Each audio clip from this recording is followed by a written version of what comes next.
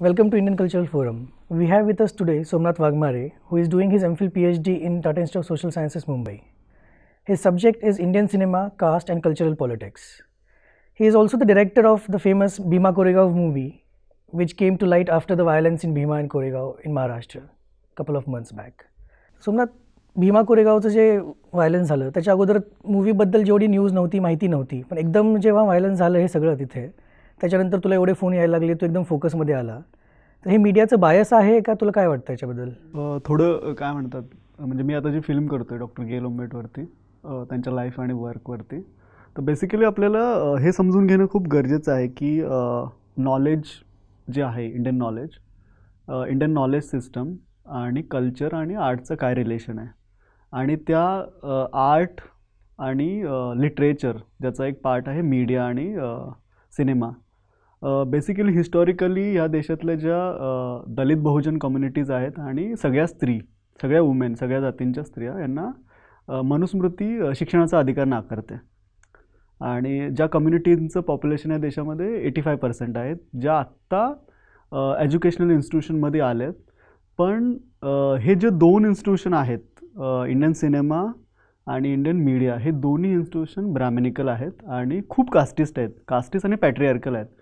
तर ह्या इन्स्टिट्यूशनमध्ये ह्या कम्युनिटींचं काही रिप्रेझेंटेशन नाही आहे आणि हे रिप्रेझेंटेशन जाणून बुजून नाही आहे म्हणजे एकतर हे प्रायव्हेट सेक्टर आहे आणि ह्या सेक्टरमध्ये इंडियन मीडिया म्हणजे सुदीप्त मंडल म्हणून एक जर्नलिस्ट आहे बेंगलोरचे. त्यांचा रिपोर्ट आहे अल जजिरावरती त्याचं असं म्हणणं आहे की भारतातले मीडियामध्ये इंग्लिश मीडियामध्ये फक्त दहा जर्नलिस्ट आहेत पूर्ण इंडियामध्ये तर हा काय म्हणू आपण? जाणून बुजून ह्या ज्या कम्युनिटींच्या असर्टिव्ह स्टोरीज आहेत म्हणजे भीमा कोरेगाव हे एक हिस्टॉरिकल असर्टिव्ह स्टोरीज आहे ना?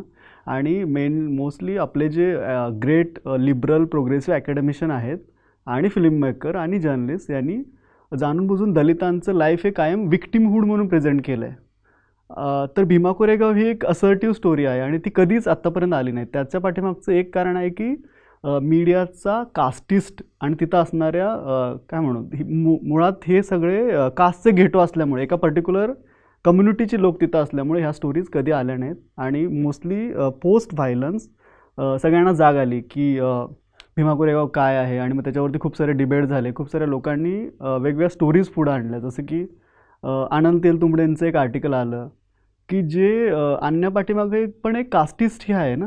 की एक वेगळंच नरेटिव्ह समोर आणायचं. ऑलरेडी त्याच्यावरती खूप कमी रायटिंग आहे बिकॉज भीमा कोरेगाव हा कधीच अकॅडमिकल हिस्ट्रीचा पार्ट नाही राहिलेला नाही. म्हणजे जाणून बुजून साईडलाईन केलेलं आहे आधीपासूनच आता जेव्हा सोशल मीडियाचा टाईम आहे नंतर अल्टरनेटिव्ह मीडिया आहे न्यू मीडिया येतोय त्याच्यातनं फरक पडतोय? अ, आत्ता म्हणजे काय म्हणतात आपण आम्ही असं म्हणतो की इंटरनेट हे खूप लिबरल स्पेस आहे. इंटरनेटनी भारतातल्या ज्या दलित बहुजन कम्युनिटीज आहेत त्यांना खूप स्पेस दिला आहे कारण मी जसं म्हणतो की नॉलेज डिनाय केलेलं आहे या कम्युनिटीजला आणि इंटरनेटमुळं आता ते खूप इझी झालं आहे म्हणजे राऊंड टेबलसारखी वेबसाईट आहे की जी without corporate funding without office run होते आणि त्याचा जो कंटेंट आहे तो या देशातल्या ज्या प्रोग्रेसिव्ह म्हणणाऱ्या ज्या वेबसाईट आहेत त्यांच्यापेक्षा पण तगडा आहे. तर तो स्पेस इंटरनेटने तयार केला आहे आता तुझं काय म्हणणं आहे? आता तू जे जेव्हा भीमा कोरेगाव तू ही डॉक्युमेंटरी बनवली होती त्याची पार्श्वभूमी काय होती? तुझं त्याच्या मागचा थॉट काय होता? बेसिकली मी मीडिया स्टडीज केले पुणे विद्यापीठातनं आणि त्याच्यानंतर अ, मी जॉब करत होतो फिल्म इन्स्टिट्यूटमध्ये आणि मोस्टली फिल्म इन्स्टिट्यूट जे काय म्हणतात म्हणून मी म्हणते की सगळ्यात मोठी जर भारतामध्ये मिस्टेक कोणाची असेल कुठल्या आयडिओलॉजिकल ग्रुपची जर मिस्टेक असेल ह्या फील्डमध्ये हे सब्जेक्ट न आणण्यामध्ये तर ती ह्या भारतातल्या लेफ्ट लोकांची चूक आहे हिस्टॉरिकल चूक आहे. त्याचं एक कारण हे पण राहिलेलं की सगळे लेफ्ट हे सवर्ण कम्युनिटीतनं आलेले आहेत. आणि त्यांनी कायम कास्टच्या इशूला इग्नोर केलेला आहे. एफ टी आय खूप लेफ्टीज इन्स्टिट्यूट आहे ना? प्रोग्रेसिव्ह म्हणतात. सिनेमामध्ये पण खूप प्रोग्रेसिव्ह. मग त्यांनी आजपर्यंत कास्टच्या इशूला का डील नाही केलं? जी की तुमची लिव्हिंग रियालिटी आहे. कधीच डील नाही केलं ना? आणि ज्यांनी डील केलं जे काही ग्रेट ग्रेट फिल्म मेकर आहेत त्यांनी कायम एक विक्टिम नरेटिव्ह पुढं आणलं आणि कायम ब्राह्मणांना क्लीन चिट देणार नरेटिव्ह होतं. म्हणजे द हिंदूचा एक रिपोर्ट आहे दोन हजार तेरा ते दोन हजार पंधरा की मुंबईमध्ये तीनशे फिल्म्स झाल्या. त्या तीनशे फिल्ममध्ये फक्त पाच फिल्म आहेत की ज्याचं प्रोटोगनस दलित आहे. असं काय? आहे म्हणजे भारतामध्ये आता फक्त मला वाटते तीन चार फिल्म मेकर असतील जे दलित कम्युनिटीत आहेत. एक पा रणजित नागराज मंजुळे नीरज. बाकी कोण आहेत? म्हणजे बॉलिवूड काय म्हणू? एक डॉमिनंट सवर्णा डॉमिनंट एक इन्स्टिट्यूशन आहे. त्याच्यामुळे ह्या स्टोरीज कधीच आल्या नाहीत. पण मोस्टली मराठी रिजनल सिनेमामध्ये थोडा चेंज होते बिकॉज ऑफ एज्युकेशन एज्युकेशनमध्ये काही दलित बहुजन कम्युनिटीतली मुलं येत आहेत. जसं मोस्टली माझ्यासाठी काय म्हण मला स्वतःला असं वाटलं की आपण सिनेमा करावं हे नागराज मंजुळेमुळं. त्याची फॅन्ड्री ही खूप काय म्हणतात ग्लोबल सिनेमा आहे तो. फॅन्ड्रीमुळं असं वाटायला लागलं की आपण सिनेमा केला पाहिजे. आणि ज्यावेळेला मी विचार करत होतो सिनेमाबद्दल त्यावेळेला संजय लीला भन्सालीची फिल्म आली होती पेशव्यांवरती. आणि संजय लीला भन्सालीनं पेशव्यांची स्टोरी सांगितली. त्यांना तो राईट आहे स्टोरी सांगायचं. म्हणजे कुठल्या आर्टिस्टने काय सांगायचं. पण मोस्टली काय म्हणू त्यानं हिस्ट्री पूर्ण नाही सांगितली पेशव्यांची. पेशव्यांच्या काळामध्ये जी जातीव्यवस्था होती आणि जे कास्टचं डिस्क्रिमिनेशन होतं ते पुढं नाही आलं.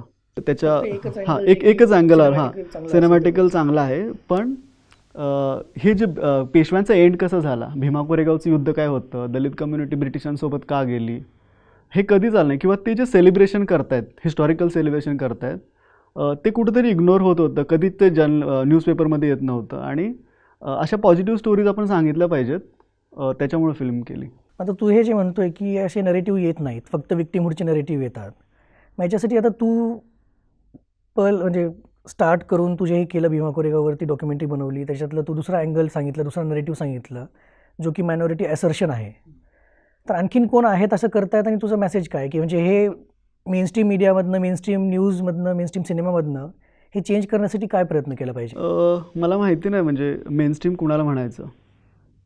हां हा मोठा प्रश्न आहे ignore करतात हां, ते. काय म्हणू त्याला? मेनस्ट्रीम एक खूप पॉप्युलर शब्द बहुजन आंदोलनामध्ये किंवा आंबेडकर सर्कलमध्ये की हे मेनस्ट्रीम नाही आहेत हे मनुस्ट्रीम आहेत. लेफ्ट पण जे स्वतःला लेफ्ट आणि प्रोग्रेसिव्ह म्हणतात ते पण आणि जे ऑलरेडी जे ब्रॅमेनिकल आहेत जसे ते रिपब्लिकन टी व्हीवाले वगैरे आहेत की ते ते क्लिअर आहेत. ते क्लिअर प्रो ब्रॅमेनिकल आहेत. एक आहे की मला वाटतं एज्युकेशनमुळं आता ह्या कम्युनिटीतले लोक यायला लागलेत वेगवेगळ्या फील्डमध्ये आणि त्यांनी स्वतः अल्टरनेटिव्ह अल्टरनेटिव्ह म्हणण्यापेक्षा ते स्वतः जे काही करतील ते मेनस्ट्रीम असेल. आणि ते होतंय. ते राऊंड टेबल इंडियाकडनं होतंय किंवा साऊथमध्ये पारंजित आहे. मुंबई आणि इकडे नागराज आहे. तर असे लोक येत आहेत. मला वाटतं ते काय म्हणू एखादी एखादं इन्स्टिट्यूशन जेव्हा डायव्हर्स होतं जेव्हा शेतकऱ्याचा मुलगा येईल आणि तो त्याची स्टोरी सांगेल तर ती खूप वेगळी असेल. आणि एखादा शहरातला मुलगा ज्यावेळेला शेतकऱ्यांची स्टोरी सांगतो त्यावेळेला तो त्याच्याकडे जस्ट एक काय म्हणू विक्टीमहुडच म्हणूनच बघेल. त्यामुळे जितकं तुमचे जे इन्स्टिट्यूशन आहेत मग सिनेमा असेल मीडिया ते जितके डायव्हर्स होतील तितके ते ग्लोबल होतील. आणि माझा जो पर्स्पेक्टिव्ह आहे सिनेमामधून आता मी गेलची फिल स्टोरी करतोय डॉक्टर गेल ओंबेट आणि त्यांच्या नवऱ्याचे नवऱ्याची भारत पाटणकरांवरती. तर त्यांचं काम पण खूप मोठं आहे ना? म्हणजे गेल सत्तावीसाव्या वर्षी अमेरिकेतून भारतात आली होती आणि तिचं आता इतकं मोठं अकॅडमिकल काम आहे. मध्ये मी असं ऐकलं की काहीतरी पब्लिक इंटेलेक्च्युअल म्हणून कोणीतरी एक लिस्ट केली. मग गेल ओमवेट काही पब्लिक इंटेलेक्च्युअल नाही आहे का?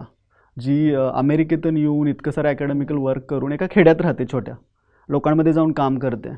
हे हे जे कास्टिस बिहेवियर आहे ना ते सिनेमा थ्रू तोडायचं आहे. आणि दुसरं जसं ब्लॅक सिनेमा डेव्हलप झाला अमेरिकेमध्ये ब्लॅक कल्चर डेव्हलप झालं तसं एक सबाल्टन लोकांचं इथलं आंबेडकर आहेत फुले आंबेडकर आहेत पर्स्पेक्टिव्हने एक पॉझिटिव्ह कल्चर काउंटर कल्चर सिनेमाच्या थ्रू डेव्हलप करायचं एक ट्राय सुरू आहे. Thank you Somnath thank you for watching Indian cultural forum